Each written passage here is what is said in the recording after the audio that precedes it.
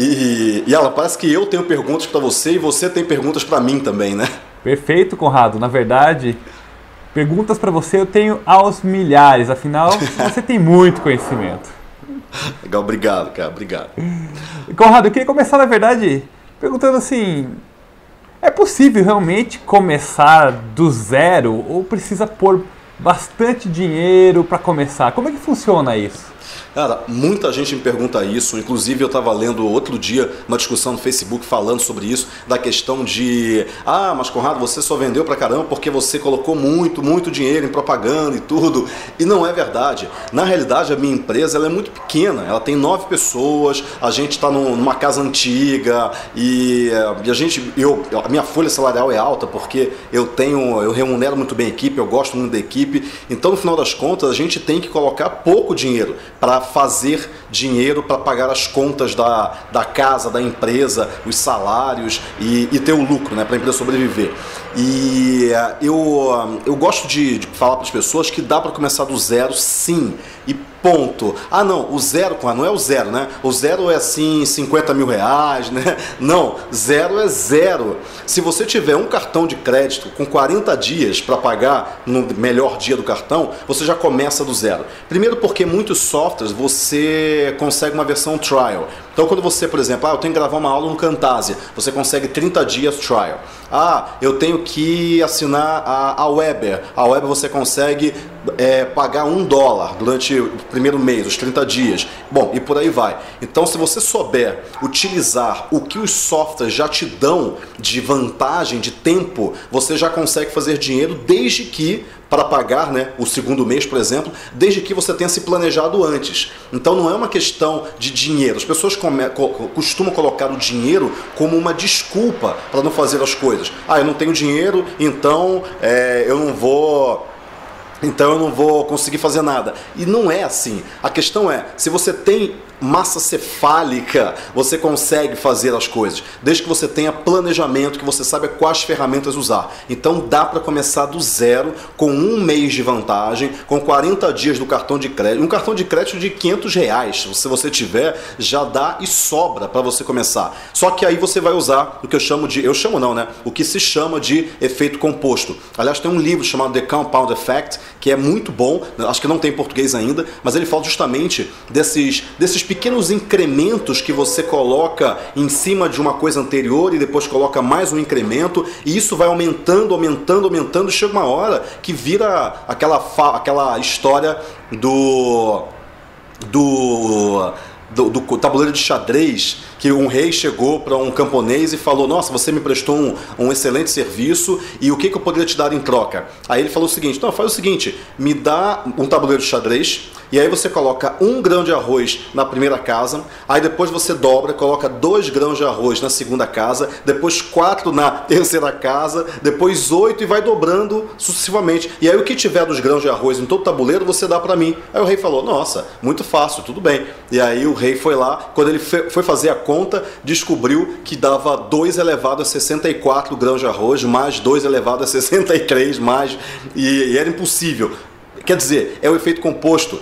E quando você soma pequenos incrementos a algo que você fez anteriormente, você consegue algo muito grande, desde que você não tire do principal. Você tem que manter a disciplina de sempre manter o principal, quer dizer, o anterior que você tem, sempre intacto para você somar em cima do principal. Se você começar a espoliar esse resultado que está no início ainda, que é um resultado bebê, você não consegue de fato um grande resultado no final. Se você seguir essas duas regras de ter os incrementos pequenos e ao mesmo tempo não espoliar olhar o resultado antes que ele de fato fique grande, você consegue fazer muita coisa. Perfeito, Conrado. E assim, em cima do que você falou, né, me lembrei muito do livro Quem Pensa Enriquece, Napoleão Hill. Você... Excelente livro, por sinal. É verdade, é verdade. Você comentou sobre massa encefálica, realmente, é, tudo começa na nossa mente, né? Tudo, isso, tudo, e, tudo. Perfeito. E o que acontece? É, pelo lado, muita gente se põe muita desculpa o tempo todo. Aliás, eu me lembro, acho que está no último capítulo do livro, ou penúltimo. Ali tem uma lista de 50 e poucas desculpas, se não me engano, do que as pessoas começam ali se colocar motivo para não fazer algo. E assim, eu acredito eu, né, do fundo da minha alma, o cara que é empreendedor de coração, ele tem que tirar as desculpas, ele tem que ir lá, enxergar na frente dos demais acreditar naquilo antes de existir e finalmente fazer acontecer. É, sem isso, eu acredito que o empreendedor ele não consegue é, conseguir ter o sucesso e desenvolver e obter resultado, porque o empreendedor é um, um, um bicho solitário, né? ninguém entende o empreendedor, ele pensa diferente dos outros. É, enquanto algumas pessoas precisam ver para crer, o empreendedor costuma dizer sempre que precisa crer para ver. É, e outra coisa é que o, o empreendedor, o empreendedor puro, né, real, ele transforma essas desculpas na realidade em oportunidade de negócios. Porque se ele fala, nossa, eu estou com a desculpa do eu não tenho dinheiro. Pô, mas espera aí, se eu estou com a desculpa do eu não tenho dinheiro, quer dizer que existem centenas de milhões de pessoas com a mesma desculpa. Nossa, então eu vou ensinar uma maneira dessas pessoas começarem sem dinheiro. Pronto, ele tem um baita negócio, né? Pois então, é. Então a desculpa vira negócio. E esse negócio do efeito composto, né? Na verdade, no fundo, no fundo, você começa do zero, você com, começa a ter o primeiro resultado e você reinveste esse resultado. E aí o que, que você faz? Faz o dinheiro trabalhar por você. E simplesmente é isso que os grandes fortunas, os grandes milionários fazem. Eles não gastam dinheiro, eles simplesmente criam dinheiro e fazem com que o dinheiro trabalhe por eles, sempre criando ativos, ativos que geram renda automaticamente. Exatamente. Aliás, você, você vai falar um pouco disso na tua palestra, né? Perfeito, exatamente. É, o Conaed vou abordar isso, porque eu acho fundamental que as pessoas estejam cientes dessa mentalidade de fazer ativos, é, trabalhar por eles, né? Não simplesmente tirar do próprio bolso, mas criar aquilo que pode render e render e render. Aliás, recentemente estava entrevistando o Carlos Pereira para o próprio Conaed e ele fez 2 milhões em apenas um webinário, com apenas um webinário. E Legal, ele falou exatamente essa frase: fazer o dinheiro trabalhar é, por você. E o que aconteceu? Ele estava contando um exemplo de um, de um computador que ele comprou, um MacBook, um MacBook, melhor dizendo, um MacBook Pro, é um computador que custa 13 mil reais. E aí ele falou: Meu Deus, quanto custa esse computador? 13 mil. Ele tinha esse dinheiro investido em ativos, mas o que ele fez? Ele falou: Não, não, eu não vou simplesmente é, gastar esse dinheiro. Eu vou pegar o meu ativo, fazer alguma coisa que ele renda esses 13 mil reais para eu poder comprar esse computador. E ele fez, tomou uma ação lá, e o resultado é que ele fez 26 mil reais. Ou seja, ele comprou o computador e ainda ficou com 13 mil reais que ele investiu mais e colocou de novo, e transformou esses 13 mil de sobra em ativos. É, o Gustavo Cerbasi ele tem um pouco essa mentalidade também. Ele não mexe no, no, principal dele e se ele falar, se ele pensar, nossa, eu quero viajar para Paris, passar 20 dias em Paris e isso vai custar 60 mil reais. Ok, ele pega o dinheiro dele, faz uma, alguma ação ou promove alguma palestra, pega aquilo que entrou a mais e aí sim ele faz a viagem. Então, esse é um raciocínio muito, muito bom. Mas o, o empreendedor tem um livro chamado O Mito do Empreendedor que eu gosto muito, que eu acho genial, e ele fala justamente a diferença entre o empreendedor, o técnico e o administrador.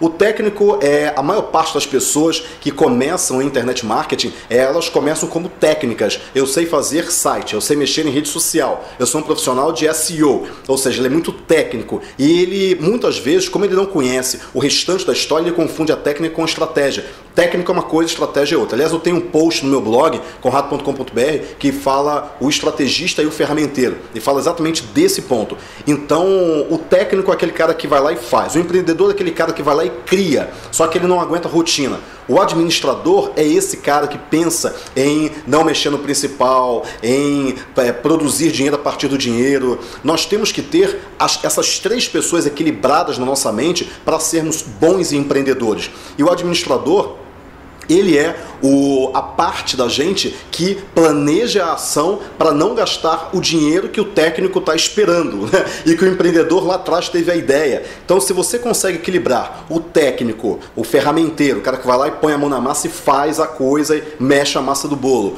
o administrador, que é o sujeito que planeja, que administra a rotina, que cria, que cria os processos, e o empreendedor, que é aquele que tem a ideia, que tem a centelha você consegue ser um baita empreendedor. Só que muita gente, muitas pessoas acham que não dá para começar do zero porque o administrador dela está muito fraco, porque ela só tem o técnico dela e o empreendedor falando: nossa, vai por ali que essa ideia é maravilhosa. Só que não necessariamente a ideia é tão maravilhosa se não tiver um planejamento antes.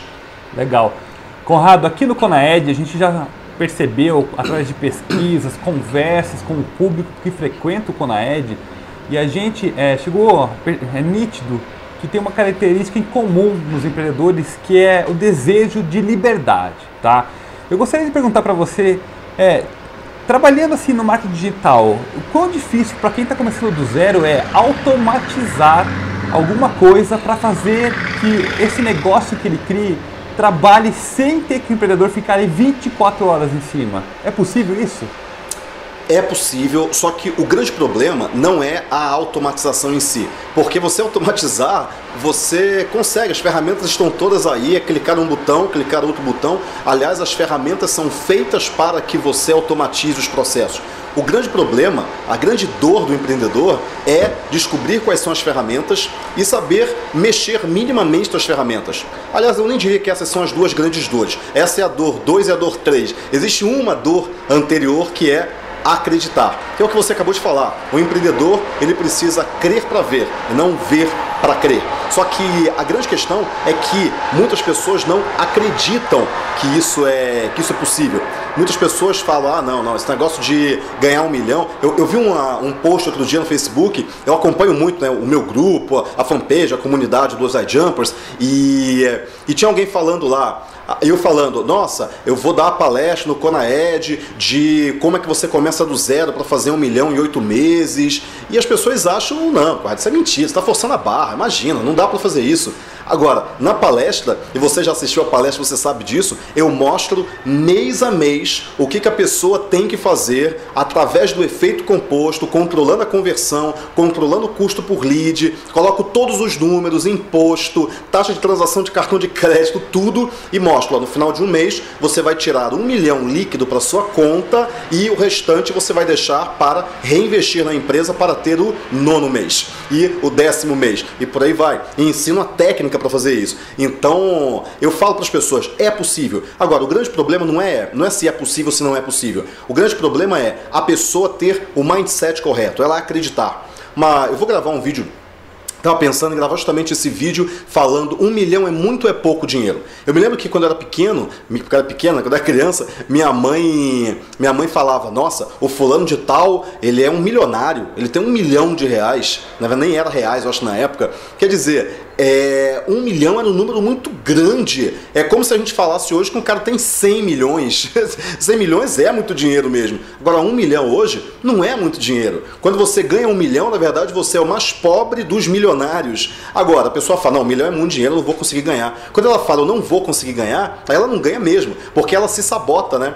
Ah, mas peraí, mas se eu estou trabalhando tanto e eu não vou ganhar tanto dinheiro assim, por que, que eu estou trabalhando tanto? Já que eu não vou ganhar tanto dinheiro, eu vou trabalhar menos. E aí, obviamente, ela ganha menos dinheiro e no final ela ainda fala: Não disse? Eu sabia que esse negócio não ia dar certo. Então quer dizer, a pessoa tem que acreditar que ela vai ganhar. Um milhão não é muito dinheiro, dois milhões não é muito dinheiro. A grande questão é se você acreditar nisso, se você acreditar que um milhão é muito dinheiro, que você vai ter que ter um trabalho infinito, que o esforço é impossível, você não vai fazer esse esforço, você não vai ganhar. Primeira coisa é acreditar. Um milhão é um número. Um milhão não é a sua vida, um milhão não é a sua saúde, é apenas um número, um punhado de notas de papel, uma em cima da outra. É só isso que é um milhão. Agora, quando você trabalha, você acredita que você pode ganhar, que isso não é um objetivo impossível, você consegue através de um método, através de foco, através de disciplina. Quando você consegue ser disciplinado, quando você consegue ser focado, você consegue o que você você quiser,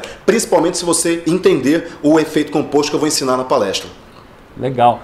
E assim, parece que tem gente que tem medo de ganhar dinheiro, tá? É, é incrível, né? As pessoas se falam assim, ah, eu vou ganhar tanto dinheiro, o que eu vou fazer com isso? Tenho, vai trazer um monte de desgraça. Gente, simplesmente isso são coisas que colocaram na sua cabeça desde criança, se você pensa assim, é, e que fariam mal. Mas, gente, se você tem dinheiro, você consegue fazer muito mais diferença no mundo, seja lá em que área que você estiver. Você consegue Aliás, produzir produtos de mais qualidade, treinar mais pessoas, investir em mais conhecimento, fazer uma diferença maior no mundo. Aliás, eu faria, falaria até outra coisa. É, se você tem esse pensamento, leia o livro Os Segredos na Mente Milionária.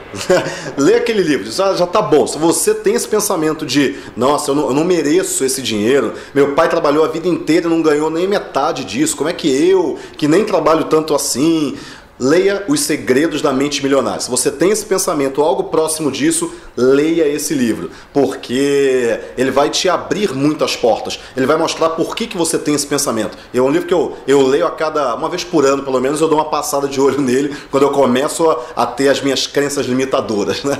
Perfeito. E assim, a gente está falando muito em dinheiro, mas eu sempre digo o seguinte: é muito importante o dinheiro ser tratado como consequência e não como causa. Se você bota o dinheiro como a sua causa principal, você não vai fazer diferença no mundo, você corre o risco de ficar frustrado.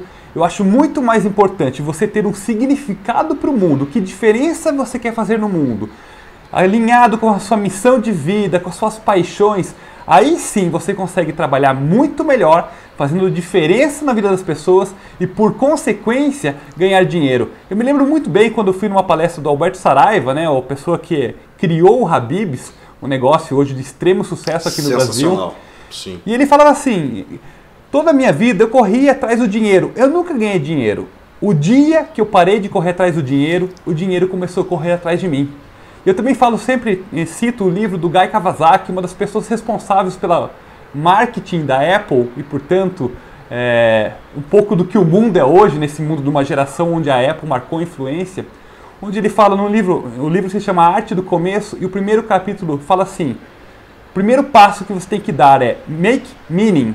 É, tenha, não sei nem como traduzido do, do, do, inglês, mas mais ou menos tenha um significado, tenha substância, tenha alguma coisa que faça diferença pelo mundo. É, alguma coisa com um propósito, né? Exato, um propósito, um porquê, uma missão. É, eu acho isso fundamental para quem é um empreendedor começando, que tenha esse propósito. O dinheiro, se você fizer bem feito e fazer diferença pela sociedade, fazer uma diferença, construir um mundo melhor, ele vem por consequência. Legal. Tem um, um, livro muito bom também, um fininho, leitura rápida, que se chama Em Busca de Sentido, que é de um, de um autor chamado Viktor Frankl. E, e, ele, e ele fala muito dessa, dessa questão de pessoas que vivem com um significado, pessoas que vivem com um propósito, elas conseguem vencer dificuldades homéricas, dificuldades absurdas. E ele conta justamente, e ele foi preso em campo de concentração, foi ali que ele começou a perceber isso, que as pessoas lá dentro daquele campo de concentração que tinham um propósito de vida, elas conseguiram, algumas, né, lógico, conseguiram sobreviver aquilo tudo. Mas aquelas que já tinham desistido, aquelas que já tinham entregado dos pontos, é, elas sucumbiram. Então, quer dizer, se você tem um propósito, e eu estava conversando com com um amigo meu agora há pouco, e ele falando, nossa, Conrado, eu estou pensando em desistir, é muito difícil, eu não aguento mais. Tem uma, uma frase do Winston Churchill que ele fala, se você está atravessando o inferno, não pare, continue caminhando. Quer dizer, cara, você está no meio do inferno, continua andando para frente, você não para no meio do inferno. Então você vai ficar lá no meio do inferno. O inferno acaba e a vida continua. E, e uma das coisas que eu lembrei falando para ele, é, eu comecei no mercado de marketing digital há 12 anos atrás. Comecei há 12 anos, comecei em 2002. Quer dizer, faz muito tempo. Mercado de fazer site, né? Eu fazia site, a, come, na verdade eu nem comecei a fazer no site, eu comecei a fazer site, eu fa, comecei a fazer em 99, se eu não me engano, mas no marketing digital, de pensar em estratégia, de pensar em SEO, que nem era SEO na época, e era uma vida muito difícil, eu morava em República, estava fazendo faculdade, aí desisti da faculdade, morava eu e mais sei lá, 16 caras na República, dividiam um beliche, né? E e ali eu comecei essa caminhada. E eu comecei. Eu passei por diversos infernos no meio dessa caminhada toda. Então eu fui morar dentro da empresa e, e, por aí vai. Né? Eu comecei a caminhar, caminhar, só que eu não parei de caminhar. Eu continuei caminhando. E as pessoas falam, Conrado, mas hoje você é um empresário de sucesso, você é isso, você é aquilo. Tá, mas eu tô há 12 anos nisso. Se eu não fosse o que, sem ter parado de caminhar, se eu não fosse uma pessoa reconhecida, uma pessoa que, sim, eu me considero bem sucedido, não em termos de dinheiro, em termos de, de sucesso, né, seja lá o que isso quer, quer dizer, mas em termos de, de realização pessoal. Eu hoje sou bem sucedido aqui dentro, não aqui fora, mas aqui dentro. E E eu falo para as pessoas, eu comecei há 12 anos, cara. Você está começando agora e você já está querendo, há um ano, há dois anos, há três anos, há cinco anos que seja, e você está querendo arrebentar a boca do balão. Calma, cara, calma, as coisas não acontecem assim. Você tem que continuar caminhando. Vão acontecer diversos problemas no meio do caminho, mas se você tiver propósito, se você tiver objetivo e se você colocar um incremento em cima do outro, sempre pensando nessa, nesse efeito que é multiplicar, assim como juros compostos, a coisa vai crescendo cada vez mais, você vai chegar lá. Tem gente hoje que fala, nossa Conrado, eu, eu conheci você através de uma revistinha que eu comprei na banca de jornal da Digerati, falando como ganhar dinheiro com o Google. Eu falava lá de AdSense, falava de AdWords e tal, um negócio de 2006, 2007, olha quanto tempo faz. E ali eu já estava, eu tinha sido chamado já para dar essa palestrinha, para gravar essa, essa, essa aula, mas eu já tinha pelo menos ali uns 5 anos de estrada. Então as coisas não acontecem tão rápido quanto a gente quer, mas a gente tem que continuar caminhando. E o empreendedor, ele é isso. Se ele continuar caminhando, ele vai ter sucesso. As pessoas não falham, as pessoas desistem. Uma dada hora, o futuro vai cobrar o preço por você ter desistido. Se você não desistiu, você vai conseguir pagar esse preço. Se você desistiu, você não vai conseguir pagar esse preço. Gosto muito dessa sua frase. As pessoas não falham, elas desistem. Excelente. E Conrado, você é a prova viva da regra das 10 mil horas, né, do Malcolm Gladwell no, do livro Outliers, você chega num grau de excelência quando você passa 10 mil horas em cima daquilo. Muito bom, Conrado, muito bom. É, eu, eu questiono um pouquinho essa regra das 10 mil horas. Tem até um livro que é o. Caramba, deixa eu. Tá um baita, baita barulho aqui na, porque parece que está passando um caminhão de limpeza de rua aqui na, na rua, mas tudo bem, já passou. E tem um outro livro, caramba, deixa eu ver se eu vejo ele por aqui. Ah, cara, a minha. Se eu, se eu te mostrar a quantidade de livros que tem aqui em casa, você não acredita, Alan. Eu, eu, eu costumo dizer. Cara, eu costumo dizer que os livros venceram. Né? Eu perdi, os livros venceram, ok. Mas eu acabei, eu estava folheando um livro agora, eu não, não, cheguei a ler o livro inteiro, e que ele questiona um pouco essa regra das 10 mil horas, falando o seguinte: que, que a, a questão não são as 10 mil horas. A questão é o quanto de fato você entra nessas 10 mil horas. Porque funcionário público, por exemplo, não que eu esteja falando mal de funcionário público, mas existem alguns funcionários públicos estereotipados, aquele funcionário público que, que não está nem aí para o que ele está fazendo. Eu conheço minha mãe, funcionária pública, e ela se matava de trabalhar, mas tem alguns que não estão nem aí para o que estão fazendo. Eles podem passar 10 mil horas fazendo aquilo, mas a mente deles, a alma deles, está em outro lugar, não está ali dentro daquilo. Então, sim, você consegue reduzir isso até para 5 mil horas, mas a grande questão é, você tem que estar inteiro. Por isso que eu falo tanto de foco e disciplina. Foco e disciplina faz um diferencial absurdo, uma diferença absurda na vida de qualquer pessoa. E as pessoas não têm ideia. Eu costumo falar que eu não assisto futebol, eu não assisto novela. Aliás, eu nem assisto TV aberta. Minha TV está aqui, eu olho para minha TV aqui, eu acho lindo essa tela preta, grande, desligada, assim, né? me dá uma paz, né? dá uma coisa boa, assim. E não lavo louça, não perco tempo com fofoca, me afasto de pessoas negativas, de pessoas que inúteis, fúteis, que não acrescentam nada para mim. Eu gosto de pessoas que me façam pensar, que me questionem, que me desafiem, que me ensinem alguma coisa e que eu ensine para elas também tem que ser uma troca. Ah, você sabe o que, que o fulano disse de você e tal? Cara, não quero saber. Se não chegou até mim, não é para chegar. Deixa para lá. Quer dizer, não perder tempo com essas coisas. Você tem que manter foco, foco, foco o tempo todo. E não só foco no trabalho, obviamente, mas foco na tua família, foco no teu filho, foco na tua esposa ou no teu marido. Você tem que manter foco nas coisas que realmente são importantes, não na, in, nas milhares de coisas que te distraem, né? Que ficam te puxando para lugares que você uma hora você vai olhar e falar, cara, o que eu estou fazendo aqui mesmo? Porque não era para você estar tá lá. Então, essa questão de foco no que realmente é importante é fundamental na vida da gente, porque a vida é muito curta e a gente acaba passando um recibo muito barato pelo que a gente recebe.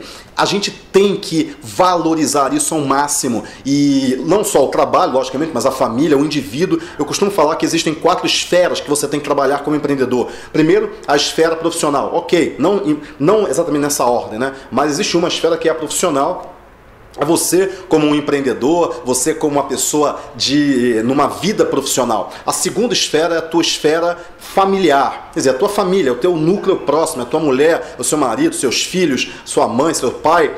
A terceira esfera é a esfera social. Quer dizer, você com seus amigos, você em sociedade, você contribui para a sociedade ou você é um extrativista de valor? Você só tira valor da sociedade? Você tem que pensar nisso. A esfera social e a esfera individual. Você com você mesmo. Você precisa de momentos de silêncio. Eu falo tanto, eu falo pra caramba, né? Vocês sabem disso. E, e, e as pessoas falam muito comigo também. o meu dia inteiro é um dia muito barulhento. E às vezes eu preciso de silêncio. Eu tenho que chegar em casa. Por isso que eu falo da TV desligada. Eu chego em casa, deito no sofá e ao invés de ligar a TV, eu fico com ela desligada curtindo o silêncio, quer dizer, curtindo a minha companhia de mim mesmo, né? me curtindo, me entendendo, vendo o que está se passando lá dentro, como é que foi hoje, o que, que eu fiz de errado, o que, que eu não fiz. É um exercício mental, é uma espécie de meditação. Então, com isso daí, eu, eu, eu, eu me renovo, eu volto, né? falo, nossa, que legal, eu consigo enfrentar barulho de novo, porque eu preciso da esfera individual. Então, com isso, o empreendedor tem que ter foco nas coisas que realmente são importantes e pensar o que, que está distraindo ele, o que está tirando o foco dele? Será que é a fofoca? Será que são pessoas que ele tem, até como amigas, que gostam, mas que são pessoas negativas, pessoas que falam mal dos outros, que criticam, que colocam ele para baixo? Ele tem que pensar o tempo todo nisso. Porque se ele conseguir, ele realmente começa a caminhar para frente. Se ele está travado, é porque tem alguma área da vida dele, dessas esferas, ou sendo, sendo sugado por algumas energias negativas, alguns vampiros, como eu chamo, que estão tirando energia dele e não deixam ele caminhar para frente. Você tem que continuar caminhando sempre, só que nem sempre é fácil. Legal, e essa questão do foco, Conrado, eu mesmo sou prova disso. O primeiro Conaed, Conaed 1, aconteceu em setembro do ano passado. Ele aconteceu do zero, absolutamente do zero. A ideia, a ideia surgiu no dia 17 de agosto e o Conaed terminou no dia 23 de setembro. São exatamente 38 dias do zero. Zero, zero, zero. Da concepção da ideia, foram 38 dias, 4.709 espectadores únicos, uma audiência somada de 40 mil pessoas, se não me engano, é, mais de 100 mil reais faturados, 40, pessoas de 47 países acompanhando o Conaed, porque simplesmente o segredo que eu tive para fazer isso foi foco. Nada mais do que foco. Exatamente. E uma. Engraçado isso. O, o primeiro curso 8Ps, agora o, o, a, o, curso 8Ps, a marca 8Ps já é forte, tudo, mas o famoso nem sempre foi assim, né? Porque o primeiro curso 8Ps nasceu no dia.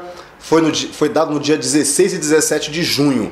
E eu tive a ideia no dia 15 de maio. então, quer dizer, foi um mês até o curso acontecer. E a mesma coisa, foco, pegar o telefone e ligar pessoalmente para as pessoas para elas comprarem o ingresso, para elas irem lá. Então, os alunos da primeira turma 8P de junho de dois, foi 2011 isso, 16 e 17 de junho de 2011.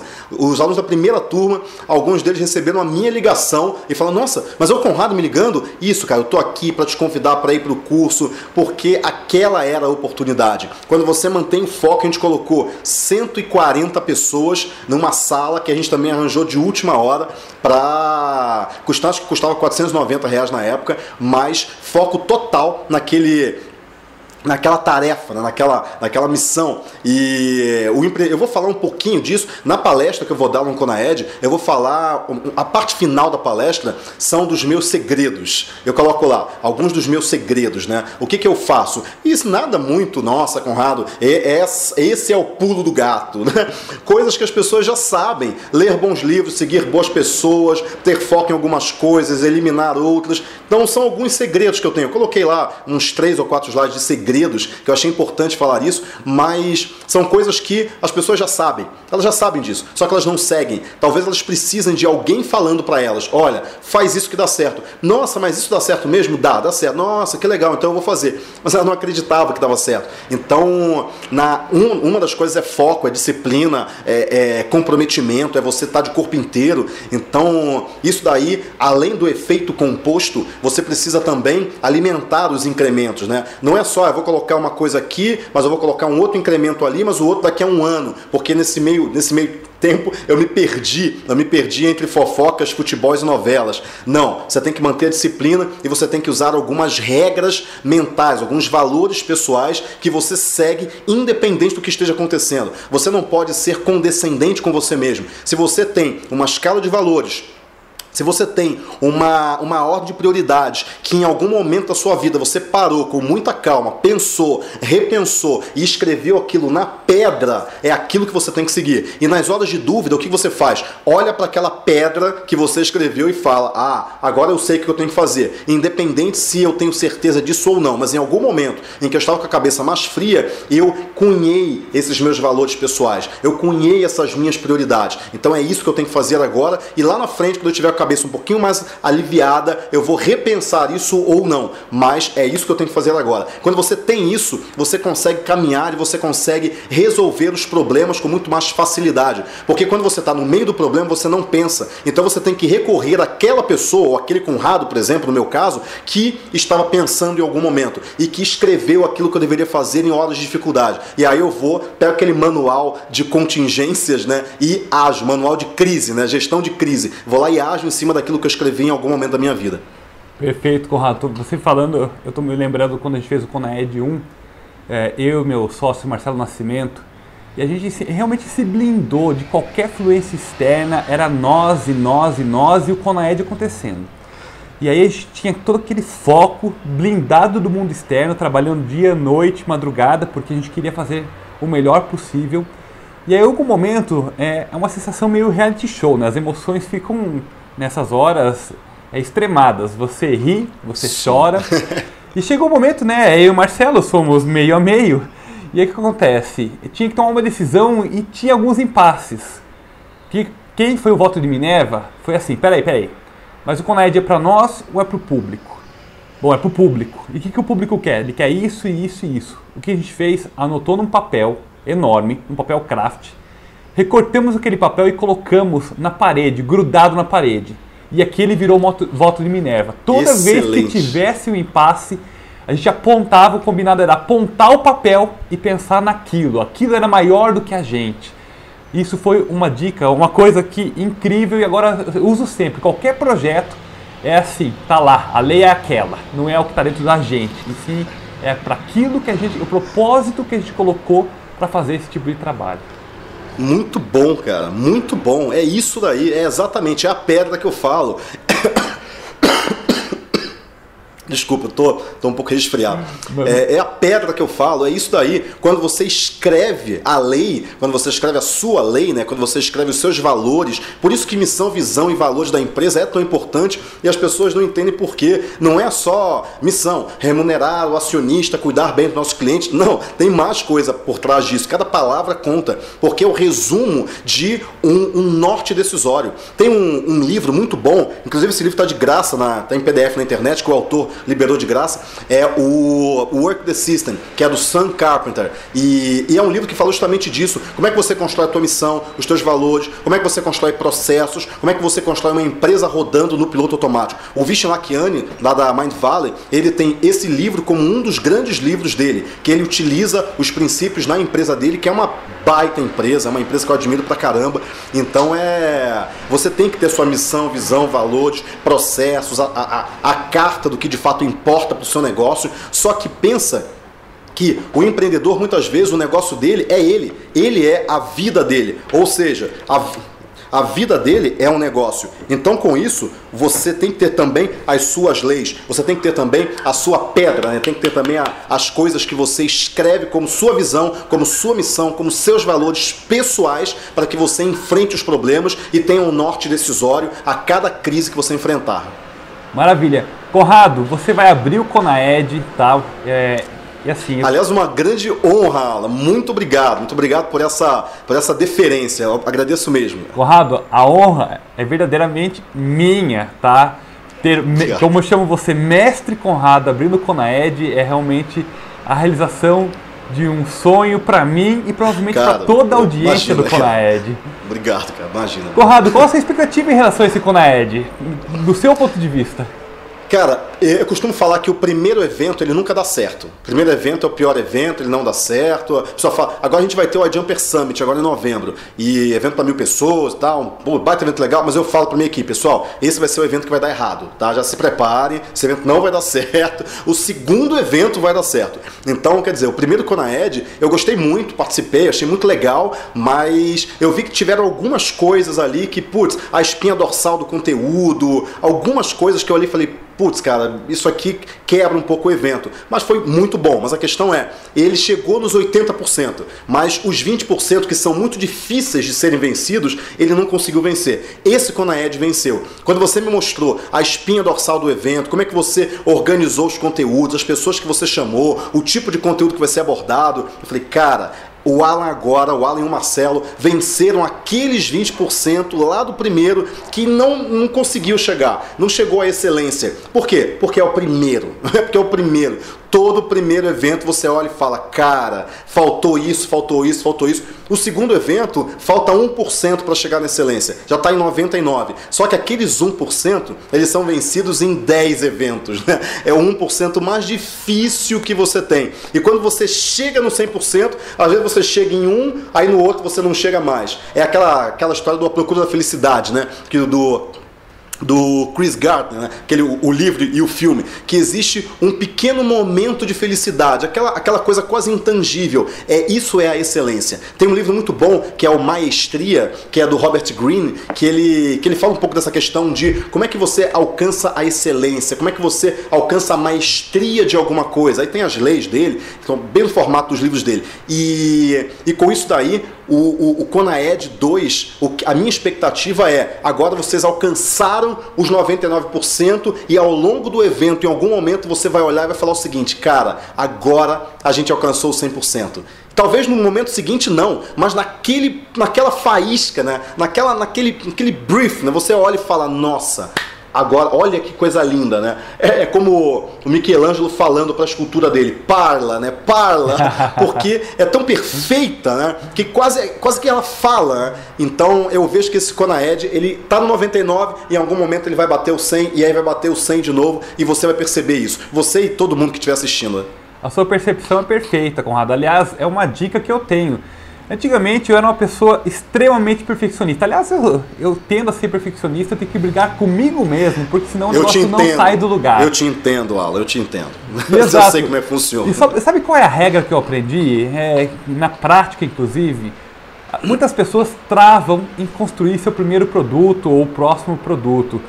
E a regra é o seguinte: você faz um produto 80% de cara e coloca, dá a cara tapa, entra em campo se aquilo você vai perceber com 80% se é um produto que vale a pena você investir mais tempo nele ou não. Foi isso que aconteceu com o Coned 1.0. Tinha que entrar em campo, tinha que acontecer, mesmo que fosse 80%. A partir daquilo, é, me deu energia. Eu percebi isso aqui de verdade é legal, vai funcionar. Eu vou colocar legal. mais energia nisso para chegar próximo a 100%. Realmente, não dá para chegar a 100% ainda.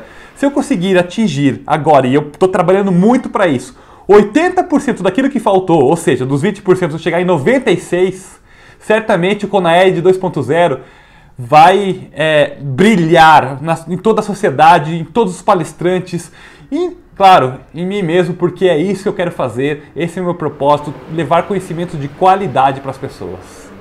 Legal, muito bom, Alan, muito bom. E, cara, o Conaed meu, foi uma baita ideia, continua sendo e vai continuar sendo ao longo de muito tempo enquanto não existirem outros eventos que de fato ajudem o empreendedor. existem eventos que existem eventos para tudo, para para microempresários, para mulheres e cada um tem o seu papel dentro do seu segmento. E o Conaed tem um papel muito importante dentro do segmento de empreendedores, principalmente aquele empreendedor que está ou para iniciar, ou no início, ou aquele que já passou da arrebentação, mas que agora está vendo os grandes desafios. Agora ele está vendo que ali na frente tem uma onda maior, tem um tubarão, tem, tem um, navio, um pirata vindo na direção dele. São os grandes desafios que ele tem que se preparar. E uma das coisas que ele tem que se preparar não é tecnicamente. Uma coisa que eu, que eu falo muito é cada vez mais eu estou vendo que, e eu estou migrando para isso, que eu quero transformar o coração das pessoas, não só a mente delas.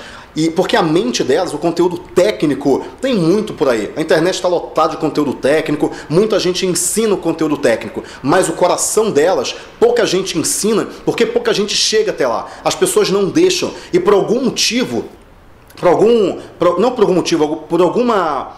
Por, por, algum, por alguma contextualização da, das, de várias situações, de várias variáveis, eu consigo em algumas vezes chegar no coração de algumas pessoas. Que algumas pessoas que escrevem para mim o seguinte, Conrado, cara, você falou aquilo e eu, nossa, mudei a minha maneira de ver o negócio e aí eu mudei a direção e aí agora eu estou conseguindo muito mais resultado tal. Cara, isso é o prêmio, isso é o verdadeiro prêmio, porque atingir a mente delas, ensinar é fácil. As pessoas falam, ah, mas o conteúdo é muito difícil. Não é difícil, é muito mais difícil você mudar aqui dentro, você mudar o que está dentro da sua, do seu coração, da sua alma. Isso é difícil e é isso que cada vez mais eu quero atingir. Como motivar as pessoas para fazer as coisas acontecerem. Porque muita gente, elas simplesmente sabem tudo o que elas têm que fazer, a mente delas está cheia de informação, mas ela não aplica. Por que, que ela não aplica?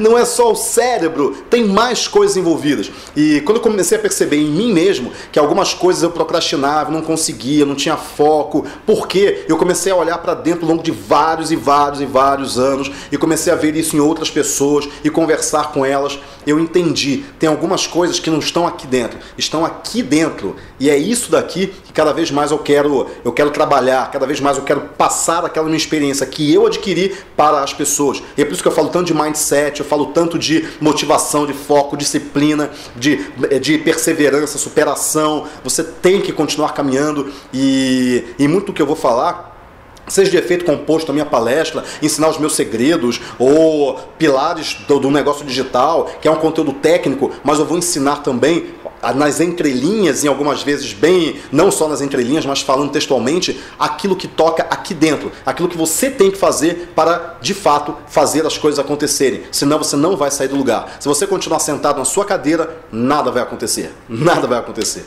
Perfeito, Conrado. Conrado, realmente é sempre um prazer conversar com você. É, certamente poderíamos ficar horas, dias, semanas é conversando, que sempre seria algo muito prazeroso, muito produtivo, muito conhecimento. Demais, Conrado. Muito obrigado por tudo isso que você faz pela gente. Oh, imagina, cara, imagina, que isso.